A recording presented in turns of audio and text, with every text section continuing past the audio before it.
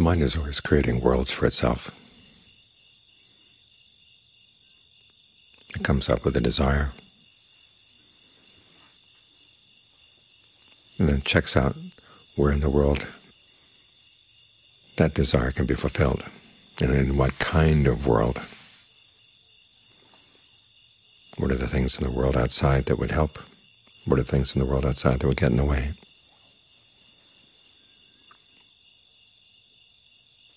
And even before we've actually gone outside, we've also created the world in the mind. We've worked out how we can attain that desire and who we are in that world. We do this all the time. The Buddha's insight was one, that these little worlds we create in the mind turn into big worlds. In other words, the process by which you create an imaginary world in the mind is also the same process by which you would move from this life to the next one. It's how you got here to begin with.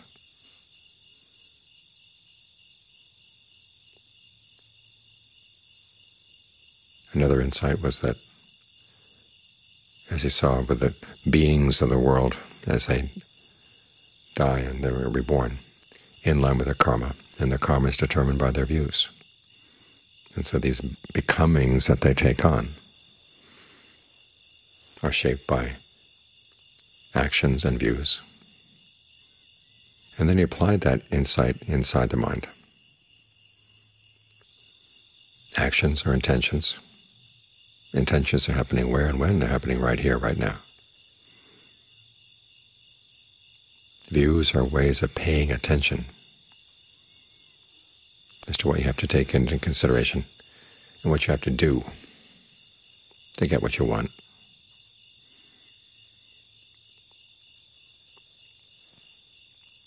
And you discover that all these becomings are inherently suffering.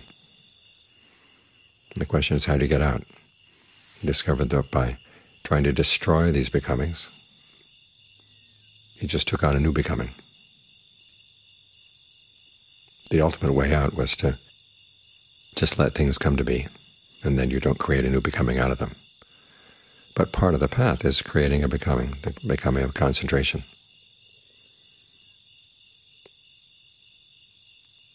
You have to have a view and an intention. The view is that it's worthwhile getting the mind to settle down. And the intention is that that's what you want to do. The two go together.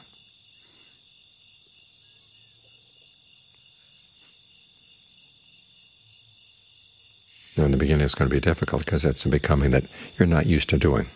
You're not used to making. You're so adept at making other becomings. The mind tends to slip off very easily into whatever its obsessions are, whatever its old loops are, like an old movie that loops back again and again and again. We go for those because it's easy.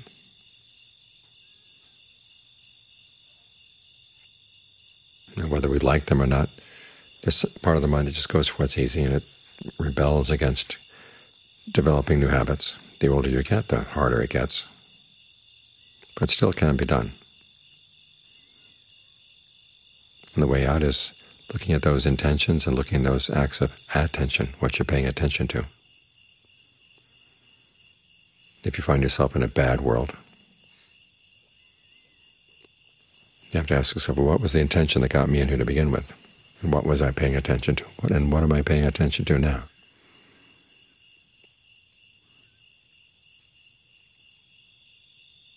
One of the important right views you develop here is seeing that you are playing a role in creating these things. It's not like we're simply passive observers, lying on our backs and letting things come over us. There's part of the mind that's looking for something.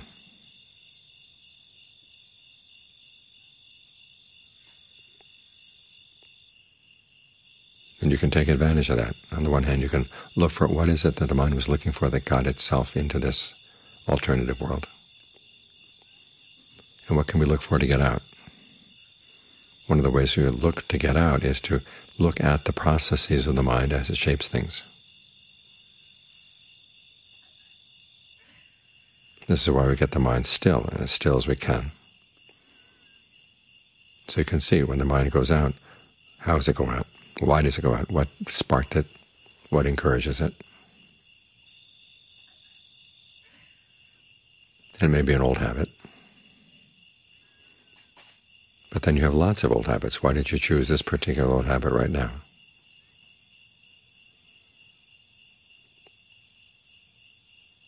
And you don't have to trace it back to your childhood. You just ask yourself, what right now got me into this? It's like having a drawer full of knives. Some of the knives are new, some of the knives are old. Some of the knives are heirlooms from your parents and grandparents. And the question is not where the knife came from, but why are you picking out this knife right now? And why do you keep that particular set of knives? The Buddha is offering you some new knives that can cut through a lot of the unskillful worlds that you create for yourself by getting you more and more sensitive to what you're doing right now. So that's the view, that's the attention. And then there has to be the intention. Not only the intention to get out, but the intention to say, I'll do what is necessary to really understand this because that's the only way you're going to get past suffering, by understanding it, comprehending it, seeing where it comes from, seeing what it is in there that you're clinging to.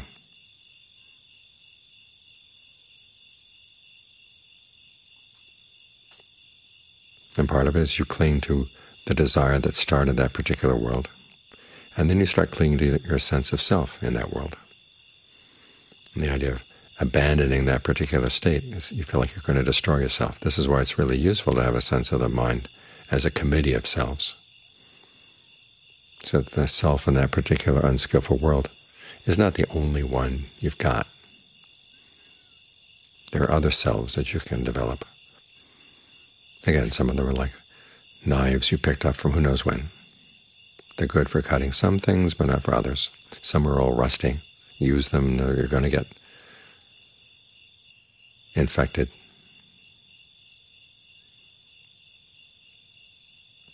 Try to use the Buddha's knives, the self that can be competent and confident that there is a way out, and has some patience.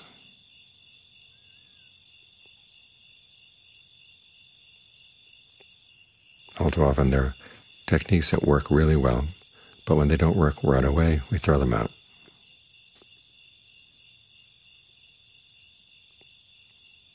and then we've lost the way out. Remember, you're trying to see what are the feelings and perceptions and fabrications, and it's good to think of them in those terms. It helps to depersonalize the whole thing, that go into that particular world in the mind. And can you shape them in a new way, shape them into concentration? Because it's the same raw material. simply that you fix it in a different way.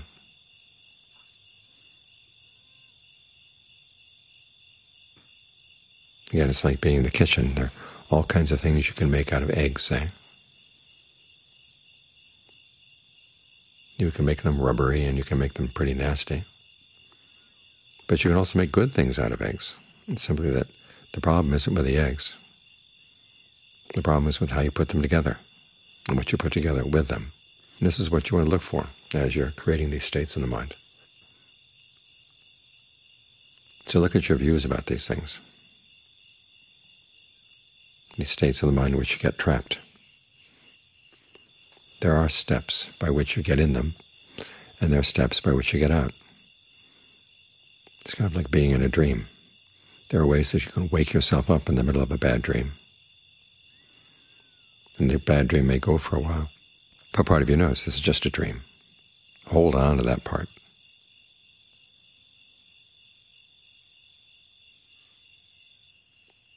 Because that's what gets you out of those worlds.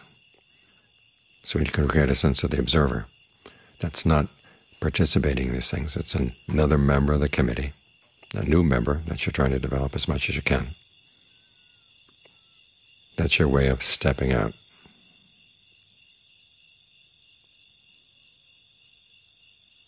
You can step back into concentration. So try to get really adept at your concentration. It too is a state of becoming, and eventually you'll have to learn how to get past it. But don't be too quick to take it apart. It's your lifesaver. It's the door out of some bad worlds back into a good world.